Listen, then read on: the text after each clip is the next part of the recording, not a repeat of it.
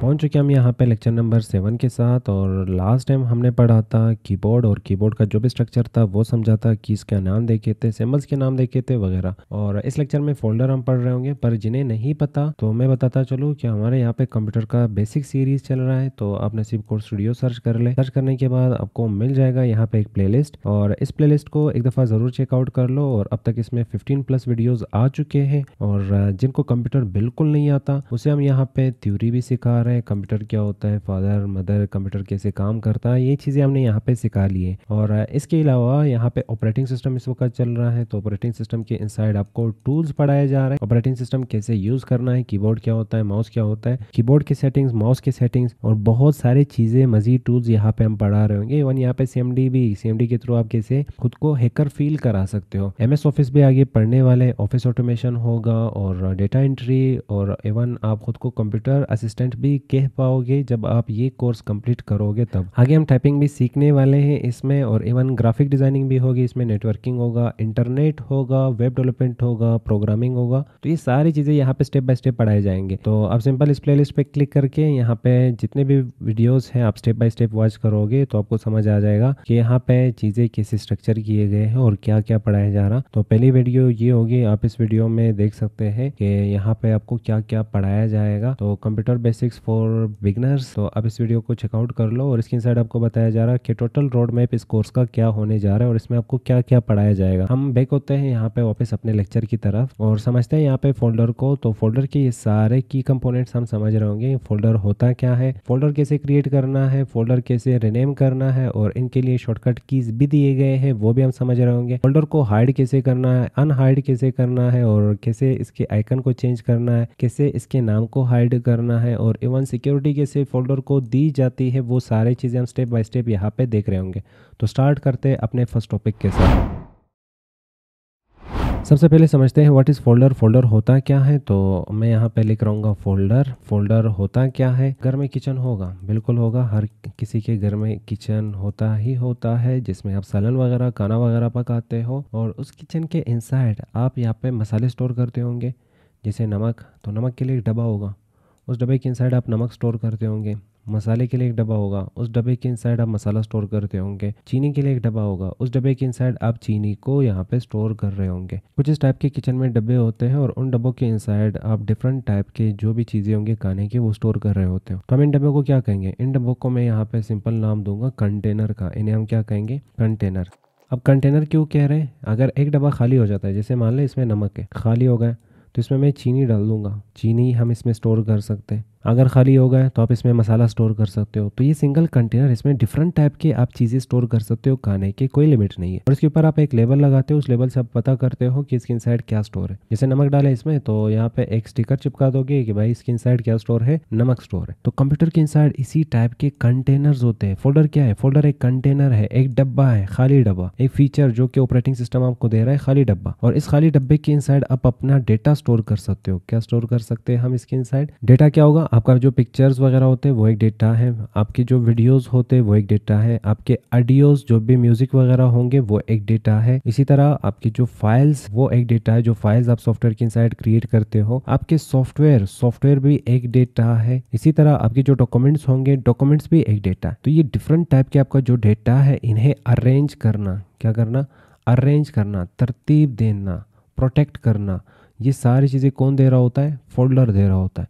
तो फोल्डर के थ्रू हम अपने डेटा को अरेंज करते हैं। आप ये भी कह सकते हैं कि folder is a type of container which is use to store data, arrange data, जो आपको डेटा अरेंज करके देता है और आपको डेटा स्टोर करके देता है। तो उम्मीद करता हूँ आपको फोल्डर का ये डिफिनेशन समझ आ चुका होगा। अब बढ़ते हैं कि फोल्डर कैसे क्रिएट किया जा सकता कितने तरीके होते हैं फोल्डर को क्रिएट करने का। मैं आ चुका हूँ यहाँ पर डेस्कटॉप की तरफ़ और डेस्कटॉप के ऊपर जब आप राइट क्लिक करोगे, ये जो बैकग्राउंड है, इस पर राइट क्लिक करोगे तो आपको ये ऑप्शन मिल रहे होंगे। लास्ट लेक्चर में हमने इसे कवर किया है, पढ़ लिया है। अब इन ऑप्शन में आपको एक ऑप्शन मिल रहा होगा न्यू नाम का तो आप इस पर क्लिक करोगे तो गौर कर ले यहाँ पे न्यू ऑप्शन पे जिसे हम क्लिक करेंगे तो इसमें यहाँ पे एक एरो दिख रहा है और यहाँ पे भी एक एरो दिख रही होगी, यहाँ पे भी एक एरो इन एरोज का मतलब है कि जो भी ऑप्शन आप इस वक्त यूज़ कर रहे हो, इसके और भी ऑप्शन मौजूद है। तो जैसे पॉइंटर लेके जाओगे तो एक सब मेन्यू यहाँ पे निकल के आ जाती है। इसमें टॉप पे देख लो, यहाँ पे आपको दिख रहा होगा फोल्डर हमें यहाँ पे दिख रहा है फोल्डर तो जैसे ही मैं क्लिक करूँगा राइट क्लिक न्यू और इस पर जैसे मैं क्लिक करूँगा तो आपके सामने यहाँ पे एक फोल्डर क्रिएट हो चुका है। अब फोल्डर को बनाने का एक तरीका यही रहा कि आप राइट क्लिक करके न्यू की तरफ़ चले जाए, यहाँ पे क्लिक कर ले और एक और तरीका होता है जिसमें हम शॉर्टकट कीज का यूज़ करते हैं तो आप अपने कीबोर्ड से ये की पकड़ के रखो C T R L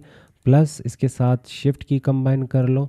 तो शिफ्ट कंबाइन करने के बाद प्लस कर लो इसके साथ N key control shift N control और शिफ्ट को आपने होल्ड करके रखना है एन को वन टाइम प्रेस करोगे तो देख लो क्या होगा। तो कंट्रोल शिफ्ट एन तो यहाँ पे एक और फोल्डर क्रिएट हो चुका है। फिर कंट्रोल शिफ्ट एन तो यहाँ पे एक और फोल्डर क्रिएट हो जाएगा। अब इन फोल्डर्स का, इन कंटेनर्स का हमने नाम चेंज करना है तो आप किसी भी एक कंटेनर पे राइट क्लिक कर लें और आपको रिनेम ऑप्शन ढूंढना है। नहीं मिल रहा तो शो मोर ऑप्शन पे क्लिक कर लो।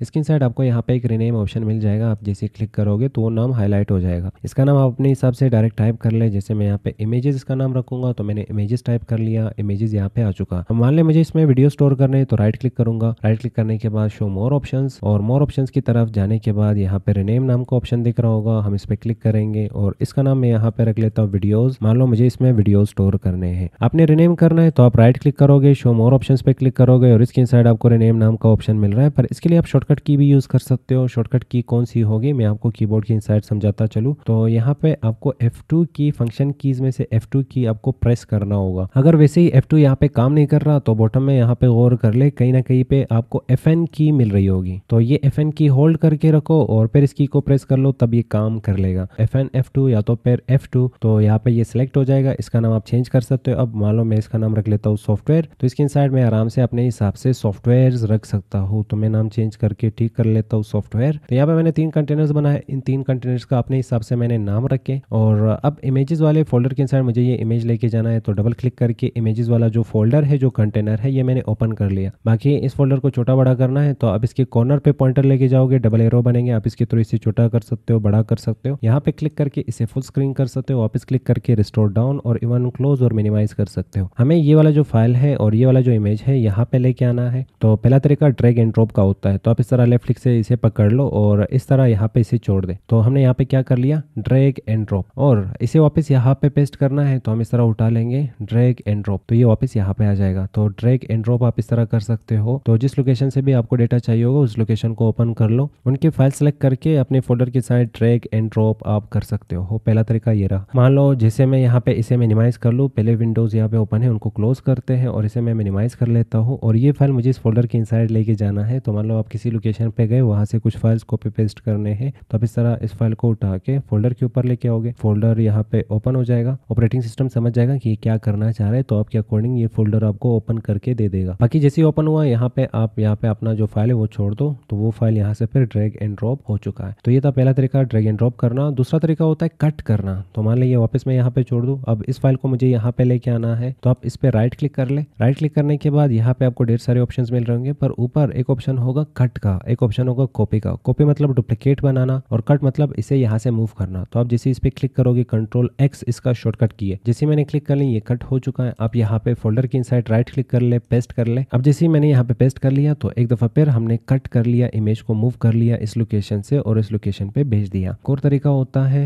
कॉपी करने का तो आप इस पे राइट क्लिक कर ले और कॉपी पे क्लिक करेंगे। कॉपी से ये खत्म नहीं होगा, ये यहाँ पे भी रहेगा और यहाँ पे राइट क्लिक करने से पेस्ट करने से ये इमेज का डुप्लीकेट आपको दे देगा। तो आपको मूव करना है कट कर सकते हो, आपको डुप्लीकेट करना है तो कॉपी कर सकते हैं। डेटा को कॉपी पेस्ट करना आ चुका होगा फोल्डर बनाना रिनेम करना, ये आ चुका होगा। अब मैं भी अपने फाइल्स को कुछ इस तरह से अलग अलग बना लेता हूँ और उसमें डिफरेंट टाइप का जो भी डेटा होगा, मैं स्टोर करता हूँ। और इसके बाद मैंने यहाँ पे एक मेगा फोल्डर बनाया है। मेगा फोल्डर मीन्स के यहाँ पे जो फोल्डर्स है, इन सबको एक साथ रखा जाए। जैसे कि वही किचन का एग्ज़ाम्पल वापस लेते हैं तो आपने एक कंटेनर बना लिया, उसमें मसाला स्टोर कर लिया, दूसरे में नमक स्टोर कर लिया, तीसरे में चीनी। अब इनको एक साथ भी तो रखना है तो आप एक दराज के इनसाइड इन्हें स्टोर करोगे। अब इन तीन फोल्डर्स को हमने यहाँ पे एक मेगा कंटेनर के इनसाइड स्टोर करना है, ताकि डेटा और अच्छा लगे, खूबसूरत लगे, और अच्छे से मैनेज हो तो हम राइट क्लिक करेंगे। राइट क्लिक करने के बाद हम न्यू पे क्लिक करेंगे फोल्डर या तो फिर कंट्रोल शिफ्ट एन प्रेस करेंगे, और इसका नाम यहाँ पे कुछ भी रख लो, जैसे मैं इसका नाम यहाँ पे रख लेता हूँ डेटा अब डेटा नाम रखने के बाद ये जो तीन फोल्डर है, इसे उठा के इसके इनसाइड मूव कर ले। मूव करने के बाद यहाँ पे डेटा नाम का फोल्डर आपके सामने आ जाएगा। अब इसका साइज़ आपने देखना है तो राइट क्लिक कर ले। प्रॉपर्टीज़ पे क्लिक कर ले। शॉर्टकट की होगा आल्ट प्लस इंटर और यहाँ पे आपको इसका साइज़ बताया जाएगा कि इस वक्त आपके जो तीन फोल्डर्स है, उसकी इनसाइड जो डेटा है, वो टोटल डेटा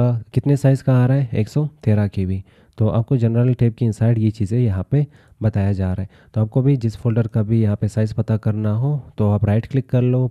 और प्रॉपर्टीज़ पे क्लिक कर लो आल्ट प्लस एंटर इसका शॉर्टकट की होगी और यहाँ से ये चीज़ें आप पता कर सकते हैं। तो उम्मीद करता हूँ आपको फोल्डर क्रिएट करना डेटा मूव करना कॉपी करना रिनेम करना और इवन साइज़ पता करना समझ आ चुका होगा। अब नेक्स्ट हम यहाँ पे इसे प्रोटेक्ट कर सकते हैं हाइड कर सकते हैं। अब प्रोटेक्ट करना और हाइड करने के लिए क्या करना होगा? तो मान ली ये फोल्डर मैं सिलेक्ट करूँगा, अपने कीबोर्ड से डिलीट की प्रेस करूँगा। ये फोल्डर यहाँ से डिलीट हो गया। कंट्रोल जेड करके हम इस फोल्डर को वापस लेके आ सकते हैं। पिछले लेक्चर आप पढ़ चुके हो, उसमें बैकवर्ड और फॉरवर्ड के लिए आपको बताया जा रहा अंडू और रेडो तो जब भी आप गलती से किसी भी चीज़ को डिलीट करते हो तो कंट्रोल जेड वो वापस आ जाता है। अब इस फोल्डर को हमने प्रोटेक्ट करना है कि ये डिलीट ना हो पाए तो इसके लिए आप इस पर वापस राइट क्लिक कर ले। अभी एक ऑप्शन आपने देखा प्रॉपर्टीज़ नाम का, आप इस पर वापस क्लिक कर ले। क्लिक करने के बाद यहाँ पे आपके सामने कुछ टेब्स आ जाएँगे। पहला टेब होगा जनरल फिर शेयरिंग और सिक्योरिटी ये सिक्योरिटी वाले टेब पे आपको क्लिक करना होगा। यहाँ पे आपने सबसे पहले वो अकाउंट फाइंड करना है, जिस अकाउंट से आप लॉग हो। वो फाइंड करने के लिए विंडो बटन पे क्लिक कर लो। यहाँ पे आपको दिखाया जाएगा, आप जिस अकाउंट से लॉग है। या जब आप पासवर्ड दे रहे होंगे, तब भी आपके सामने वो नाम आ जाता है, जिस अकाउंट से आप लॉग होने जा रहे हो। तो अकाउंट मुझे यहाँ पे पता चला, इस अकाउंट से मैं यहाँ पे लॉग इन हूँ। तो हम इस अकाउंट पे क्लिक कर रहे होंगे। क्लिक करने के बाद यहाँ पे एडिट नाम का ऑप्शन होगा, इस पे आपने क्लिक करना है और वापस सेम अकाउंट आपको चूज़ करना है। और यहाँ पे ये जो डिने का ऑप्शन है कि आपको ये सारे जो परमिशंस है, वो डिसेबल करने हैं तो आप यहाँ पे ये चेक्स लगा लें। लगाने के बाद अप्लाई पे आपको क्लिक करना है यस पे क्लिक करना है और फिर ओके पे क्लिक करना है। एक दफ़ा फिर ओके पे आपने क्लिक कर लेना है। क्लिक करने के बाद आप इस फोल्डर को आप उठा के जैसे आप डिलीट करना चाहोगे तो ये डिलीट नहीं हो पाएगा, कहा जा रहा है। एडमिनिस्ट्रेटर का परमिशन आपको चाहिए होगा, तब आप इसे डिलीट कर सकते हो, वरना नहीं। तो अगर हमें यहाँ पे वापस डिलीटेबल बनाना है तो राइट क्लिक कर लो। राइट क्लिक करने के बाद प्रॉपर्टीज़ पे क्लिक कर लो सिक्योरिटी पे क्लिक कर लो, और आपको अकाउंट सेलेक्ट करना है एडिट पे क्लिक करना है रिमूव पे क्लिक करना है अकाउंट सेलेक्ट करके अप्लाई पे क्लिक कर लो ओके पे क्लिक कर लो, फिर ओके पे क्लिक कर लो। अब ये फोल्डर वापस डिलीट हो सकता है। तो कुछ इस तरह से आप फोल्डर को डिलीट से बचा सकते हो। अब दूसरा तरीका क्या होगा कि इस फोल्डर को आप हाइड कर सकते हो। हाइड करने के दो तरीके हैं। एक इसका आइकन और नाम गायब कर लो, दूसरा आप फोल्डर को टोटल गायब कर लो। तो नाम और आइकन को गायब करने के लिए आप इस पर राइट क्लिक कर लो। आपके सामने यहाँ पे प्रॉपर्टीज़ होगा। प्रॉपर्टीज़ पे क्लिक करना है। यहाँ पे आपके सामने टेब्स आ जाएँगे और प्रॉपर्टीज़ आ जाएँगे। इसमें एक टेब होगा कस्टमाइज इस पर आपने क्लिक करना है। क्लिक करने के बाद नीचे देख लो, इस वक्त फोल्डर का जो भी आइकन है, वही आइकन आपको यहाँ पे दिखाया जा रहा है, पर आइकन को आप चेंज कर सकते हो। इस पर क्लिक कर ले। क्लिक करने के बाद अपने हिसाब से यहाँ पे कोई भी आइकन आप इसे दे दे, अप्लाई पे क्लिक कर ले तो आइकन यहाँ पे चेंज हो जाएगा। ओके पे क्लिक कर लो, और एक दफ़ा अपने कंप्यूटर को रिफ्रेश कर लो तो आइकन चेंज हो चुका है। अब मुझे ये आइकन नहीं चाहिए तो राइट क्लिक कर लो, प्रॉपर्टीज़ पे क्लिक कर लो। क्लिक करने के बाद आपको कस्टमाइज पे क्लिक करना है, चेंज आइकन पे क्लिक करना है, और यहाँ से स्क्रोल कर लो आगे की तरफ़। ये सारे आइकन्स हैं। अगर आप चाहते हो कि यूज़र इस पर क्लिक ना कर ले तो इसे यहाँ पर ये वाला आइकन दे दो shut down icon shut down icon जैसे ही दोगे ओके पे क्लिक करोगे तो आप देख लो इसका जो आइकन है, यहाँ पे शट डाउन आ रहा है, और इसका नाम भी यहाँ पे आप पावर ऑफ़ रख लो। अब जैसे ही कोई देख ले कि अच्छा अगर इस पर डबल क्लिक करूँगा तो ये पावर ऑफ़ हो जाएगा तो गलती से इस पर क्लिक नहीं करेगा। अब वापस आपको नाम नहीं चाहिए होगा, ये चीज़ें ख़त्म करने हैं या चेंज करने हैं तो कस्टमाइज़ पे वापस क्लिक करना है, चेंज आइकन पे क्लिक करना है। आगे स्क्रॉल कर लो, यहाँ पे कुछ आइकन है, इनविजिबल आइकन्स। अब इनविजिबल आइकन्स में से किसी एक आइकन को सिलेक्ट करके ओके, अप्लाई पर ओके पे क्लिक कर लो। इस वक्त आइकन यहाँ पे गायब हो चुका है। तो नाम गायब करने के लिए आपके कीबोर्ड की इनसाइड ये वाली कीज़ सबसे पहले होने चाहिए। तो इस साइड पर आपको ये वाली कीज़ मिल रहे होंगे, न्यूमेरिकल कीज़। अब जो नाम हमने चेंज करना है, उसके लिए हमने आल्ट की पकड़ के रखना है और इसके साथ कंबाइन करना है टू डबल फाइव को। तो आल्ट की पकड़ के रखो, एक दफ़ा टू प्रेस कर लो, फिर डबल फाइव प्रेस कर लो और एंटर कर लो तो नाम गायब हो जाएगा। पर एक्चुअल में ये नाम गायब नहीं होता। आपको एक इनविजिबल स्पेस मिल जाता है, एक छोटा सा स्पेस तो स्पेस तो ज़ाहिर बात है स्क्रीन के ऊपर नहीं दिखता। तो आप स्पेस क्रिएट करके आप नाम को कन्वर्ट कर लेते हो स्पेस में। कैसे? देख लो। हम यहाँ पे सिलेक्ट करेंगे F2 की प्रेस करेंगे। प्रेस करने के बाद मैं यहाँ पे इस नाम को ख़त्म करके alt two double five press करूँगा और इंटर कर लूँगा। तो देख लो, इसका नाम हमने यहाँ पे गायब कर लिया। आल्ट की पकड़ के रखो टू डबल फाइव से इसका नाम गायब हो गया। बाकी आप इस फ़ाइल को यहाँ वहाँ लोकेशन से मूव करना चाहो तो राइट क्लिक करके एक दफ़ा ये चीज़ें अनचेक कर लो, अपने हिसाब से इसे उठा के कहीं पे भी। फ़िलहाल मुझे आइकन और नाम वापस चाहिए होगा तो हम राइट क्लिक कर सकते हैं। राइट क्लिक करने के बाद प्रॉपर्टीज़ पे क्लिक करेंगे और आइकन सबसे पहले चूज़ कर लो तो हम यहाँ से आइकन वापस सेलेक्ट करते हैं। सेम आइकन ओके पे क्लिक करेंगे अप्लाई ओके नेक्स्ट हमने इसको नाम देना है तो F2 की प्रेस करेंगे। F2 से नाम दिया जाता और इसका नाम मैं वापस यहाँ पर रख लेता हूँ डेट डेटा। जब आप चाह रहे हो कि मुझे एक और फोल्डर बनाना है, वो डेटा नाम का होना चाहिए तो राइट क्लिक कर लो। राइट क्लिक करने के बाद न्यू पे क्लिक कर लो फोल्डर पे क्लिक कर लो और जब आप यहाँ पे डेटा दोगे नाम तो ये कह रहा है डेटा नाम का जो फोल्डर है, वो सेम डेस्टिनेशन सेम लोकेशन पे पहले से मौजूद है। तो नहीं बन सकता नो पे क्लिक कर लो। ये कह रहा है रिप्लेस करना है उसके साथ तो हमने नहीं करना है रिप्लेस फिर भी मुझे यहाँ पे सेम नाम का एक और फोल्डर चाहिए। तो हम यहाँ पे पहले तो इसमें लिख लेंगे डेटा अभी हमने पढ़ा इनविजिबल स्पेस क्रिएट करना। तो आर्ट की पकड़ के रखो टू डबल फाइव और लास्ट में एक्सपेस आ चुका है। अगर आपने नाम पे गौर किया तो नाम थोड़ा सा उस साइड पे मूव हुआ। इंटर कर लो। तो देख लो सेम नाम से अपने दो फोल्डर बना ली। तो दोनों सेम नाम से नहीं है, इसमें स्पेस नहीं है और इसमें स्पेस है। तो कुछ इस तरह से आप दो फोल्डर्स एक नाम से भी बना सकते हो ऑल टू डबल फाइव के थ्रू अब नेक्स्ट और लास्ट इस फोल्डर को हमने हाइड करना है तो हाइड करने के लिए राइट क्लिक कर लो। प्रॉपर्टीज़ नाम का ऑप्शन होगा, आपने इस पर क्लिक करना है। और यहाँ पे जो टेप्स थे, इसमें हमने कस्टमाइज टेप देखा, इसमें हमने सिक्योरिटी टेप देखा। और नेटवर्क टेप भी होता है, जिसके थ्रू आप फाइल्स को शेयर कर सकते हो। प्रीवियस वर्जन भी आप देख सकते हो कि इस फोल्डर के इनसाइड कब डेटा मॉडिफाई किया गया है या अपडेट किया गया है वो चीज़ें भी आप यहाँ से चेकआउट कर सकते हो। पर फ़िलहाल हमने यहाँ पे इसका डेटा अपडेट नहीं किया तो इसी वजह से ये जगह यहाँ पे खाली आ रहा है। तो जब आप इसमें डेटा अपडेट करोगे तो यहाँ पे आपको बताया जाएगा कि कब कब इसमें डेटा अपडेट हुआ है। हम जनरल टेप पे क्लिक कर रहे होंगे तो जनरल टेप पे जैसे ही क्लिक करोगे, यहाँ पे आपको मिल रहा होगा एक ऑप्शन जिसका नाम है हिडन आप इसका चेक लगा ले अप्लाई पे क्लिक कर ले ओके पे क्लिक कर लो, फिर ओके पे क्लिक कर लो, और अपने कंप्यूटर को एक दफ़ा ज़रूर रिफ्रेश कर लो, अगर वो गायब नहीं होता आइकन अब फोल्डर को गायब करने के बाद वापस दिखाना है, पर उससे पहले देख लो फोल्डर को गायब करने के लिए राइट क्लिक प्रॉपर्टीज़ हिडन का चेक लगा ले अप्लाई पे क्लिक कर ले ओके पे क्लिक कर ले फोल्डर गायब हो जाएगा। दो फोल्डर हम हाइड कर चुके क्या फ़ाइल हाइड कर सकते हैं।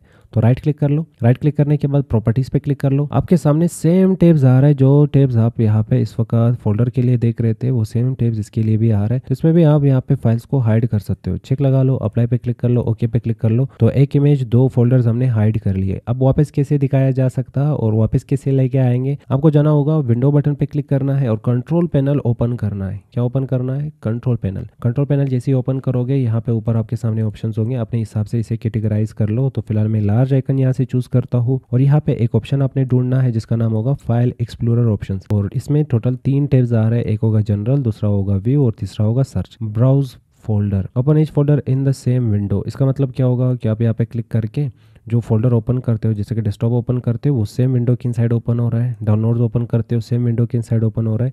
ये अलग करना चाहते हो तो ये वाला चेक लगा के अप्लाई पे क्लिक कर लो। क्लिक करने के बाद अब यहाँ पे वापस इसे ओपन कर लो। तो जैसे मैं यहाँ पे इसे ओपन करूँगा और किसी भी फोल्डर पे डबल क्लिक करके ओपन करूँगा तो देख लो ये एक अलग विंडो में ओपन हुआ सेम विंडो में नहीं। तो कुछ इस तरह से आप अगर विंडोज़ को अलग करना चाहते हो, जैसे आप डबल क्लिक करके एक को ओपन करते हो, फिर डबल क्लिक करके ये विंडोज़ अलग अलग सेपरेट विंडोज़ में ओपन हो रहे हैं, जो कि डिस्टर्ब कर सकता तो इन चीज़ों को कंबाइन करने के लिए आप ये सेटिंग यहाँ से कर सकते हो। तो सेटिंग क्या था?